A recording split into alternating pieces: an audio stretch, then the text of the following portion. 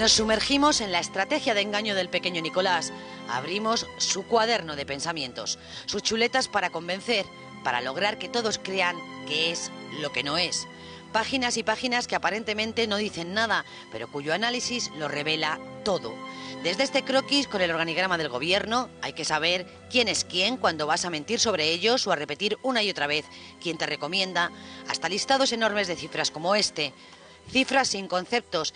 ¿Recuerda Fran de memoria a qué corresponde cada una de estas cantidades? Le sirve también este cuaderno de agenda, anotaciones como esta, martes 4 de febrero, mañana a las 12. Es el día en el que se desvelan titulares como este. El pequeño Nicolás abre una crisis dentro de la policía. Un alto responsable de la policía acusado de manipular pruebas. Se inicia la guerra interna en el seno de la policía. ¿Tiene algo que ver esa cita con esta revelación?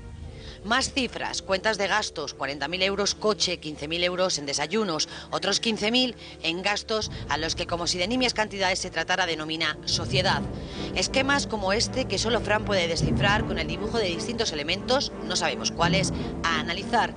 Listados de tareas por hacer, CUNEF, viaje a China, viaje a Eurovegas, pasar info. Todas estas hojas escritas sin orden ni concierto, plasmados también por escrito sus pensamientos tal cual, dibujos como este, un espacio circular con flechas que parecen marcar la entrada. ¿De qué se trata? ¿Es un edificio oficial o podría ser la planta del Estadio Santiago Bernabéu, al que sabemos es asiduo Fran? Marca con esas flechas puntos estratégicos y con este recuadro el palco en el que le hemos podido ver en más de una ocasión. Páginas con los nombres de los grandes clásicos en la vida de mentiras y estafas del pequeño Nicolás. Acero y Bellón, la empresa a la que presuntamente intentó estafar, haciéndose pasar incluso por su director de Relaciones Institucionales con tarjetas como esta. También un nombre propio clave, este, José Luis Balbás, a quien la policía acusa de haber proporcionado a Fran una amplia lista de contactos nacionales e internacionales, políticos y empresariales. Anotaciones de matrículas son quizás algunos de los vehículos sobre los que pidió información a los mismos agentes que le escoltaron en su ya famoso viaje a Ribadeo. Entre todo este material, con numerosas hojas repletas de garabatos y lo que parecen rúbricas, destaca este dibujo. Como si de trazo electrónico, sin pensar se tratara, convergen distintos elementos. Un retrato, este payaso saliendo de su caja. Junto a ese retrato, dos frases escritas en inglés.